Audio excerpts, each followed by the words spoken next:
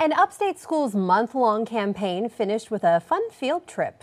Cannons Elementary School in Spartanburg District 3 wrapped up their Serving with a Loving Heart campaign today. Each year, each grade comes up with a different project to benefit their community. And their fifth grade class decided to collect donations for the Spartanburg Humane Society.